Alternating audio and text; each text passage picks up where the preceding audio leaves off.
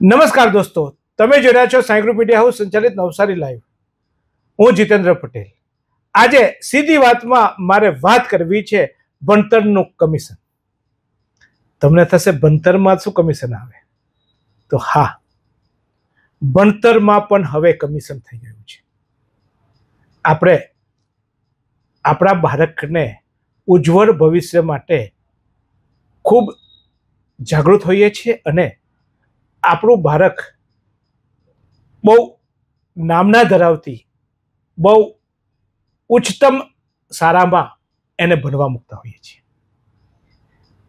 આપણે પેટે પાટા બાંધીને જે મધ્યમ વર્ગીય છે, ઉચ્ચ મધ્યમ વર્ગીય પરિવાર છે, એ લોકો મહેનત કરીને બાળકના ભણતર માટે અને બાળકના ઉજ્જવળ ભવિષ્ય માટે ચિંતિત હોઈએ છીએ. અને એ માટે આપણા આજુબાજુમાં નામના ધરાવતી શાળામાં સારા સ્કૂલમાં આપણું બાળક અભ્યાસ કરે એ પ્રકારે આપણે પ્રયાસ કરતા હોઈએ છીએ. ચોક્કસ આજે સરકારી શાળાઓનું સ્તર નીચું ગયું છે અને આપણને વિશ્વાસ પણ નથી.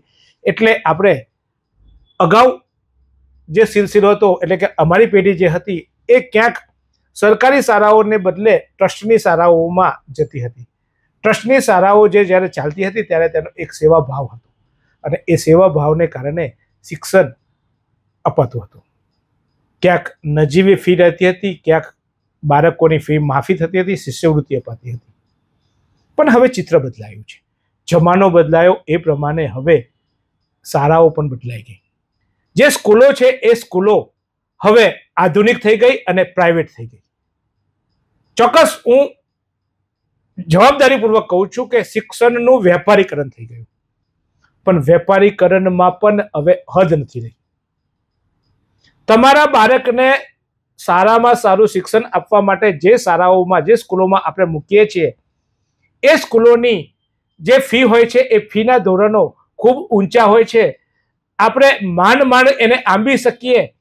એવા ઊંચા ધોરણો, એવા ઊંચા સ્ટાન્ડર્ડોવાળી એવી ઊંચી ફી ધરાવતી સ્કૂલોમાં પણ આપણે એન કેન પ્રકારે બાળકને મૂકીએ છીએ. ચલો માની લઈએ, ત્યાં એ સારી સુવિધાઓ આપતા હોય છે. કદાચ કોઈ વધુ ધનવાનના બાળકો જ્યાં ભણતા હોય, ત્યાં એર કન્ડિશન વર્ગો પણ હોઈ શકે, બીજી સુવિધાઓ હોઈ શકે. અને એ સારા એ સુવિધાઓ આપે છે અને આપણે એ ફી એમને ચૂકવીએ છીએ. ક્યાંક વધારે ફી ક્યાંક ઓછી ફી અને ક્યાંક મધ્યમ ફી એ ફી ચૂકવીએ છીએ આપણે અને એના બદલામાં એ આપણને જે પોસાય છે એવી આપણને સુવિધાઓ આપે છે. એસી વર્ગખંડવાળી શાળાઓ હોય તો એ એ પ્રમાણે ફી લેતા હશે. કદાચ અન્ય જે શાળાઓમાં સારા શિક્ષકો હશે, એનું જે ભૌગોલિક વાતાવરણ અને એની ભૌતિક સુવિધાઓ છે એ સારી હશે, તો ત્યાં એ પ્રમાણે આપણે ફી ચૂકવતા હશું. હવે તો સરકારે એક ફી નિયમન સમિતિ પણ બનાવી છે અને એ ફી નિયમન સમિતિ જે નક્કી કરે એ ફી આપણે ચૂકવતા હોઈએ છીએ. માની લઈએ છીએ, આ બધું યોગ્ય છે. પણ આ સરકારી શાળાઓ સિવાયની જે શાળાઓ છે, કે જેઓને માટે મેં અગાઉ શબ્દ વાપર્યો કે શિક્ષણનું વેપારીકરણ થઈ ગયું છે, ત્યારે આ વેપાર કરતા વેપારી શિક્ષકના શાળાના સંચાલકો વેપારમાં નફો જેટલો ઉલેચાય એટલો ઉલેચવાનો પ્રયાસ કરતા હોય છે. અને એટલે જ મારો જે આજનું ટાઇટલ છે, એ ટાઇટલની શરૂઆત થાય છે. કે ભણતરમાં કમિશન. હા, જે શાળામાં તમારું બાળક ભણવા મૂક્યું, એ શાળામાં એની ફી છે એ આપણે ચૂકવી દીધી. પણ એ ફીથી આ શાળાના સંચાલકો ધરાતા નથી હોતા. અને એટલે જ એ લોકો નવા રૂલ્સ લાવે છે કે બાળકોની એક યુનિક પ્રકારની નોટબુકો હોય, એટલે એ નોટબુકો અથવા તો બાળકના જે ટેક્સ્ટ બુકો છે એ યુનિક હોય, એ માટે એ એક નિર્ધારિત સ્ટોલમાંથી લેવા માટે આગ્રહ રાખે છે. અને જો તમે ત્યાંથી તમારું બાળકના પુસ્તકો અને નોટબુકો અને ઇતર જે ચીજ વસ્તુઓ છે એ ન લાવ્યા, તો એ તમે એ સ્કૂલમાં એલિજિબલ નથી અથવા તો તમને એનકેન પ્રકારે હેરાન કરવામાં આવે છે. હવે વાત થઈ તમને થશે, ઓકે, પુસ્તકો તો બધેથી લેવાના હોય. જો કે તમને બધા જાગૃત છો તમને ખબર જ છે કે શું હાલત હોય છે તે. જે શાળાઓ દ્વારા જે તે દુકાનનું નામ આપવામાં આવે છે, એ દુકાનદાર સાથે આ શાળાનું ટાઈપ થતું હોય છે. અને જેટલા ગ્રાહકો એમને ત્યાંથી આ પુસ્તકો, નોટબુકો અને અન્ય ચીજ વસ્તુઓ ખરીદતા હોય છે, એ પ્રમાણે શાળાના સંચાલકોને અપાતું હોય છે કમિશન. અને આ મુદ્દે અનેકવાર ઉહાપો પણ થયો છે, વાલીઓનો આક્રોશ પણ હોય છે, પણ ક્યાં તો શાળાના સંચાલકો અને શાળાના આચાર્યો જો વધારે કહ્યું હોય તો કહે છે કે તમારા બાળકને ના પોસાય તો અહીંયાથી લેજો, પણ અમને બધું એક જ પ્રકારનું જોઈએ છે. મને એ નથી સમજાતું કે નોટબુક હોવી જોઈએ તો ઓકે.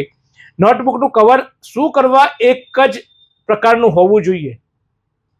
બાળક એના ઘરે નોટબુકમાંથી આપણે બધા નાના જ્યારે ભણ્યા હતા, મોટા થયા હતા, ત્યારે આપણે કેવા કવરો ચડાવ્યા હતા? ન્યૂઝપેપરના કવરો ચડાવીને આપણે ગયા હતા. નોટબુકના કવરો.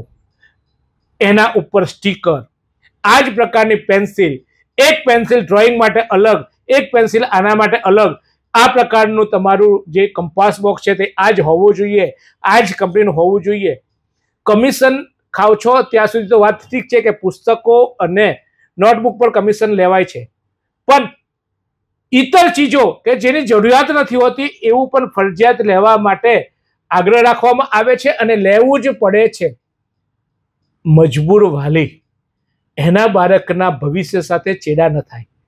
એના બાળકને શાળાના સંચાલકો કે શાળાના શિક્ષકો હેરાનગતિ ન કરે એ માટે ચૂપચાપ બિચારો બનીને સ્ટેશનરીની દુકાનવાળો જે આપે એ બધું જ લઈ લે છે. બે રૂપિયાની વસ્તુના ત્રણ રૂપિયા પણ લેવાય છે, વીસ રૂપિયાની વસ્તુના ચાલીસ પણ લેવાય છે અને જેમ જરૂરિયાત ન હોય એવું સ્ટેશનરીનું માલ સામાન આપી દેવામાં આવે છે અને બધાએ લેવું ત્યારે મારે કરવી છે આ સીધી વાત કે શું આ શિક્ષણનું સ્તર છે? જ્યાં બાળકને અમે ભણવા મૂકીએ છીએ, એ બાળકમાં જે શિક્ષકો બનાવે છે, એમાં અમે ગુરુને જોઈએ છીએ. અને કહેવાય છે કે ભગવાન કરતાં પહેલું સ્થાન ગુરુનું હોય છે. ગુરુ ગોવિંદ દોનો ખડે કિનકો લાગુ પાય. બલિહારી ગુરુ કી ગોવિંદ દિયો દિખાય. અને ગુરુના રસ્તે, ગુરુ જે રસ્તો બતાવે છે, એ રસ્તે ભગવાન દેખાતો હોય છે, એવું આપણું શાસ્ત્રો કહે છે. ત્યારે આ શિક્ષણની જે હાટડીઓ છે, એવું શબ્દ વાપરીશ તો કંઈ ખોટું નહીં હોય. આ જે શાળાઓને શિક્ષણની દુકાન બનાવી દેવામાં આવી છે, એ કેટલી વ્યાજબી. આ મુદ્દે મેં નવસારી સ્ટેશનરી મર્ચન્ટ એસોસિએશનના પ્રમુખ રીતેશભાઈ સાથે પણ વાત કરી છે મારા પ્રતિનિધિએ એમની મુલાકાત લીધી હતી અને એમને પણ આ મુદ્દે નારાજગી વ્યક્ત કરી હતી. અને દર વખતે એઓ આ મુદ્દે સતત તમામ સ્ટેશનરી માલિકોને જાગૃત કરતા આવે છે, પણ તેમ છતાંય નથી શાળાના સંચાલકો સુધર્યા નથી સ્ટેશનરીના આવા જે કમિશન આપનારા કમિશનદારો એ પણ નથી સુધર્યા. અને પરિણામે આ વર્ષે પણ મારા શહેરના વાલીઓ લૂંટાયા છે. આ શહેરના જે લોકો મધ્યમ વર્ગીય છે, જે લોકો પેટે પાટા બાંધીને મહેનત કરીને પોતાના બાળકના ઉજ્જવળ ભવિષ્ય માટે રૂપિયો રૂપિયો બચાવે છે, એ પોતાના શોખો પૂરા નથી કરતા, કારણ કે મારું બાળક સારો અભ્યાસ લઈ શકે. એ જે શોખો, જે જરૂરિયાતોને ઓછી કરીને બાળકને ભણાવવા માટે પ્રયાસ કરે છે, એવા વાલીઓને પણ આ વખતે લૂંટવામાં આવે છે. ફરી એકવાર આ લૂંટ ચાલી છે. આશા રાખું આ લૂંટ બંધ થાય પણ શું કહ્યું રીતેશભાઈ એ પહેલાં જોઈએ. મારું નામ રીતેશ સામવાની. હું સ્ટેશનરી એસોસિએશનનો પ્રમુખ છું, નવસારી જિલ્લાનો. અને અમારી જે ડિમાન્ડ હતી કે સ્કૂલમાંથી સપ્લાયઓ બંધ થાય, આજે ના ના કરીને પણ કેટલી સ્કૂલોમાં સપ્લાય ચાલુ છે તે અમે બંધ કરાવીએ છીએ. સ્કૂલમાં સપ્લાય થતી એટલા માટે અટકાવીએ છીએ કે બારસો વિદ્યાર્થીઓના વાલી ડાયરેક્ટ એક જ જગ્યાએથી લઈ તો એ લોકોને કોઈ કમિશન નથી મળતું. જ્યારે બારસો વિદ્યાર્થી મારી દુકાનમાં આવે કે બીજા કોઈને ત્યાં જાય તો અમે એટલીસ્ટ ત્રીસ ટકા, વીસ ટકા, દસ ટકા કંઈ તો આપીએ. આ સ્કૂલવાળા ફક્ત કમિશન ને કમિશનમાં વાલીઓને લૂંટતા છે. એ અમે બંધ કરાવીને રહીશું. અમારું એસોસિએશન એના પછાડી ખૂબ મહેનત કરી રહ્યું છે. એસોસિએશન દરેક મેમ્બર અમારી સાથે છે. હવે વાલીઓ પણ અમારા સાથે જોડાવાના ચાલુ થઈ ગયા છે. ગયા વર્ષે બી આવેદન આપેલું હતું. એના ગયા વર્ષે બી આવેદન આપેલું હતું. આ વર્ષે પણ આવેદન આપેલું છે. બધાને અમે સ્કૂલોમાં પણ એ આવેદન પહોંચાડેલા છે. આખા જિલ્લાની બધી સ્કૂલોમાં પણ હવે કેવું છે કે જે આદત પડી ગયેલી હોય વર્ષોથી, તે જલ્દી જતી નથી. તો હવે લોકોએ આદત કાઢી જ નાખવી પડશે કે સ્કૂલમાંથી વાલીઓએ ઊભા રહીને ચોપડા લેવાના અથવા તો પછી એ લોકોની માનેલી સ્કૂલ, જેવી રીતે સાવકી દુકાન એ લોકોની પ્રેમથી જે એક જ દુકાનોમાં મોકલે બધા વાલીઓને, તે બંધ કરવું જ પડશે હવે. આ સંદર્ભે તમે જિલ્લા શિક્ષણ અધિકારી કે કલેક્ટરને કોઈ રજૂઆત કરી ડીઈઓ સાહેબને રજૂઆત થઈ ગઈ છે. એમને પગલાં લેવાના પણ ચાલુ કરી દીધા છે. જીઆર છે જે ગુજરાતનો પાસ થયેલો કે સ્કૂલમાંથી કોઈ પણ પ્રકારનો આવી રીતે વેપલો થાય જ નહીં, તે બાબતમાં ડીઈઓ સાહેબે આ લોકોને બી સમજાવી દીધા છે અને હવે એ ડીઈઓ સાહેબની પણ લાલ આંખ થઈ ગઈ છે. તો જુઓ, સીધી વાત મેં રીતેશભાઈ સાથે પણ કરી. રીતેશભાઈની વાત પણ આપ જોઈ સમજી શકો એમ છો. તો આ પરિસ્થિતિમાં આપણે પણ કેટલા મજબૂર છીએ? કારણ કે આપણે બધા જ છેવટે જ્યારે આપણે મોટા થઈએ છીએ, ત્યારે આપણે વાલી થતા હોઈએ છીએ, આપણે એક બાળકના પિતા થતા હોઈએ છીએ અને મારું બાળક શ્રેષ્ઠ અભ્યાસ કરે, મારું બાળક શ્રેષ્ઠ સુવિધાઓ સાથે અભ્યાસ કરે એ માટે ઊંચી ઊંચી ફીઓ ચૂકવતા હોઈએ છીએ, ત્યાં સારાની જવાબદારી પૂરી થઈ જાય છે. પણ ફીઓ બાદ સ્ટેશનરી, માત્ર સ્ટેશનરી નહીં, અત્યારે મુદ્દો મેં સ્ટેશનરી લીધો છે, પણ તમારે કપડાં ક્યાંથી લેવા, એમાં પણ કમિશન? તમારે શૂઝ ક્યાંથી લેવા? એમાં પણ કમિશન. શૂઝની સાથે સાથે તમારે સોક્સ ક્યાંથી લેવા? એમાં પણ કમિશન. અરે, હદ તો ત્યારે થાય છે કે તમારે ટાઈ પણ આ જ બાંધવી અને એ પણ આ જગ્યાએથી લેવી, માથામાં રિબિન પણ આ નાખવી અને એથી ઉપર જઈને હવે તો હદ ત્યાં સુધી થાય છે કે તમારે જો તમારા બાળકને શિયાળામાં સ્વેટર પહેરાવવું તો આ જ પ્રકારનું સ્વેટર પહેરાવવું. અરે ત્યાંથી આગળ કે રવિવારે તો સ્પોર્ટ દિવસ, માફ કરજો, રવિવારે તો સારા બંધ હોય છે, પણ મતલબમાં કે શનિવારે સ્પોર્ટ ડે હોય છે, તો તમારે આ કલરની ટી શર્ટ પહેરીને બાળકને મોકલવાનો. સોમવારે આ દિવસ એટલે આ પ્રકારે ટી શર્ટ પહેરવાની. હવે માંડ જે બાપ ત્રણ કે ચાર શર્ટે એનું જીવન કાઢતો હોય, એના બાળકને ભણાવવા માટે ચાર ચાર, પાંચ પાંચ પ્રકારની અલગ અલગ ટી શર્ટો લાવવાની. એક વર્ષ, કારણ કે બાળક જ્યારે ભણતું હોય થોડું મોટું થાય એટલે એક વર્ષમાં એ બાળક મોટું થાય એટલે એના કપડાની સાઇઝ બદલાઈ જાય છે કારણ કે એ ચડતું લોહી હોય છે. ત્યારે એ કપડું માંડ એ સારાના બસો દિવસમાંથી પચીસ દિવસ કે ત્રીસ દિવસ પહેરે છે. અને પાછું બીજા વર્ષે નવા કપડાં લેવાના. માનવતા નામે કંઈક વાત તો હોય. તમે તમારી સારાને એક યુનિક બનાવવા માટે કે સારાને એક પ્લેટફોર્મ બનાવવા માટે શું આ રીતે કમિશન ખાશો? કેટલું વ્યાજબી છે? મારે આ સીધી વાત મારા તમામ વાલીઓની સાથે સાથે સારા સંચાલકોને પણ કરવી છે કે હદ થાય છે કે આવી રીતે માત્ર થોડાક રૂપિયાના કમિશન માટે તમે કેટલા પરિવારોના ગજવા ખાલી કરાવો છો? કેટલા પરિવારોને નાહકનો ખર્ચો કરાવો છો? જે ખર્ચની જરૂર નથી, જે ખર્ચ વગર પણ બાળક ભણી શકે એમ છે. પણ માત્ર ને માત્ર આ વસ્તુ ખરીદી કરવાથી તમને મળે છે કમિશન. અને એ કમિશન માટે આ કરાતો વેપલો સામે ચોક્કસ મારી નારાજગી છે અને એટલે જ મેં આજે કરી છે સીધી વાત.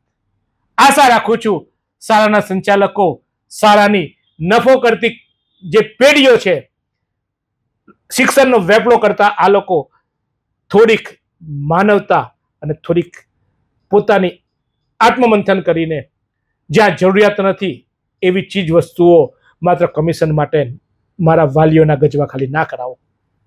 તો જોતા રહો આ જ રીતે સીધી વાતમાં તમારા પાસે પણ કોઈ મુદ્દો હોય તો એ ચોક્કસ એ મુદ્દો અમારી પાસે મોકલજો. અમે કરીશું સીધી વાત. વિદેશ જવા માટેની પહેલી સીડી બની સરળ. વૈશ્વિક માન્યતા ધરાવતું મયુરી ફોરેન એડ્યુકેશન લાવ્યું છે. સૌ પ્રથમવાર આઈએલટીએસ પીટી ડિયોલિંગો ની કોચિંગ ફી પર પંચોતેર ટકા સુધીની સ્કોલરશિપ અને મેળવો ઓરિજિનલ કેમ્બ્રિજના બુક્સ અને બેગ આ સ્કોલરશિપ ફક્ત ટૂંક સમય માટે જ છે. તો આજે જ સંપર્ક કરો મયુરી ફોરેન એડ્યુકેશન નવસારી.